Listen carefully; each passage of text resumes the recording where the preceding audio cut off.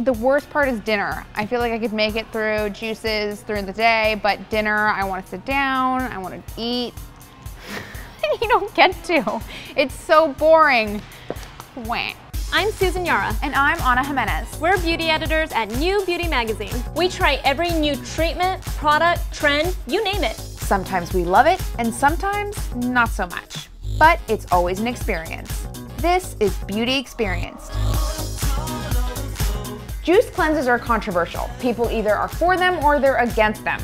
I myself am a fan. Susan, on the other hand, is not. In this episode, we set off to investigate both sides of the argument. First stop, I meet up with nutrition experts Marra St. Clair and Lori Kenyon Farley to learn how to juice. The idea of doing a cleanse is that our body actually has internal cleansing organs, but because we eat a lot of non-organic foods or processed foods or environmental toxins, our body can't always keep up. And so to the extent that you give it a break from all of those things for a few days and really load up on organic nutrients. And we're sticking to all organic? Yes, when you do a cleanse, it's really important that you use organic ingredients. They're higher in nutrient density, and that's the only food you're getting. Okay. And then also, we're trying to remove toxins, so we don't want to add any more during the cleanse. In a three day cleanse, you're going to be consuming like 40 pounds of produce approximately. Wow, that's very intense. yeah. I mean, if you can imagine that all of this goes into one juice. Right. People think of cleansing or juicing, I think, as depriving themselves, when in reality, you can see that you're getting a lot more nutrition than you probably eat in your normal day. Let's get started. What are we making first? Our first juice will be the lemon green, and it's a great way to start off your day. It has leafy greens um, that are very high in nutrients and antioxidants. Antioxidants are the building block of your cells. They're really the thing that can help rejuvenate your skin, help mm. us not look so tired anymore. Um, it's got apples, which add to the flavor. Make it delicious to drink. And okay. also very cleansing. We then also have cucumber, which helps flush the toxins from your cells, and then the lemon is a great alkalizer. It can really help to detox your liver. Mmm, this is delicious. The green apple gives it a nice sweetness. It masks the taste of the, the leafy greens a little bit. And yeah. the lemon's nice too. Yeah. So it doesn't taste just like a salad in a bottle. It's got a little bit sweeter than that.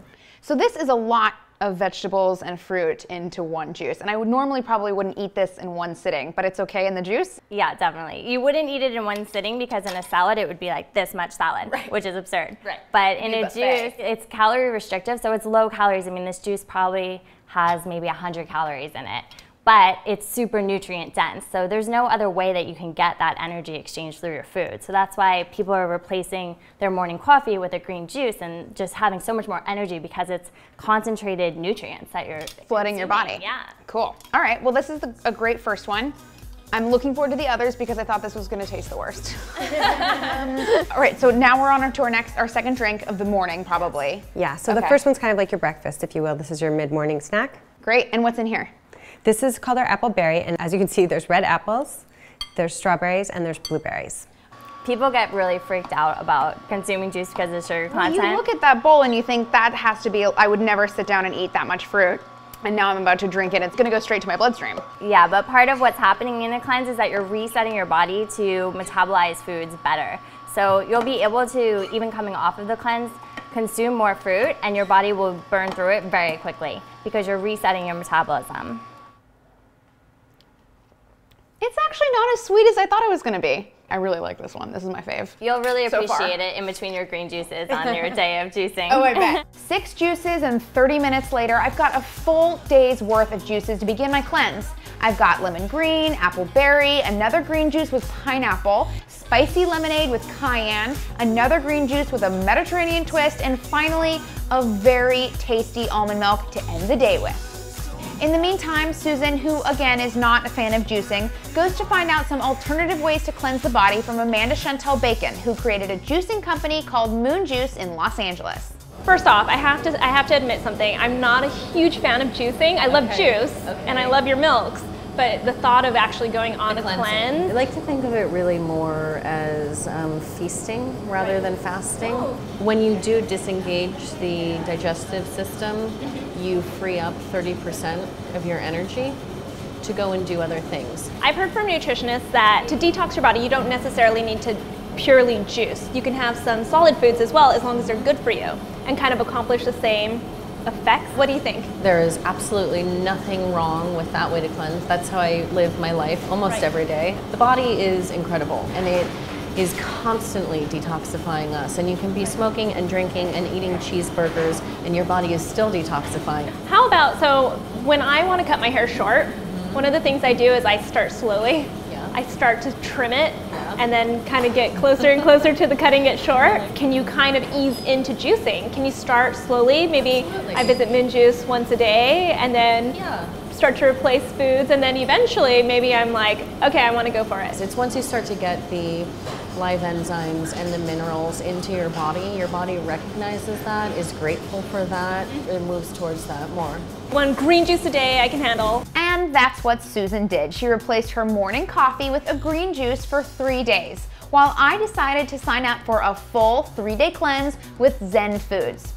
I have to say that Susan definitely got off easy because this is how I felt during each day of my cleanse. I'm only on juice number two, which is the Green Goddess, but right now it tastes delicious. I have another day tomorrow uh, unfortunately. Overall, it was a good experience. Um, I've been really hungry, unfortunately. I feel hydrated. In the end, we sat down with Derek Johnson, Executive Nutrition Director at the Biggest Loser Resorts, to find out what juicing really does to our bodies and if it's even necessary at all. We've both tried juice cleanses multiple days, and I kind of always, well, I was kind of told that it's a good way to restart your body, especially if you wanted to start a new healthy eating regimen. Uh, the way I look at it is like this if someone was off for 51 weeks out of the year and then they were good for one week, it doesn't erase the 51. You have to remember, you can't trick the human body. It really knows what's going on. So it's good for the change because it does change some of the chemistry when you do something different. Mm-hmm. But you want to incorporate in that things you should be doing anyway, right? Eating fruits and vegetables, pairing foods together, and then exercise is huge for cleansing and detoxifying. It's a bigger component than any you know juice could ever be. Hmm. So the, the answer would be bringing the bringing to doing something different. But it's about what we're not putting in our body. There's no dairy, right? Not that all dairy is bad. There's no wheat, there's no sugar, there's no caffeine, and there's no alcohol. Right. So you take those things out, and even if you just ate clean, you're gonna feel better. Right. You don't need an extreme to, to kind of get there. So you would never tell someone to do then a three-day all juice cleanse. Never. I would not recommend it. I would say take your three day juice thing, because people are like, I'm gonna do it. And the rule is then don't just spike your insulin. Add in some, I mean, how bad can almonds be? And like some healthy, like coconut oil or something like that during a three day Right. cleanse. It's only gonna help you, not hurt you. So it's a great way to, we'd wanna add into what we're already currently doing. And again, use it as type of a snack. So I think it's finding out the right strategic way to use it in your own personal life Right. and just getting the right information. You know what I'm gonna do right now? What? I'm gonna go eat some almonds to uh, accompany my juice. So you're balancing, yeah, Exactly. exactly. That's what I'm doing.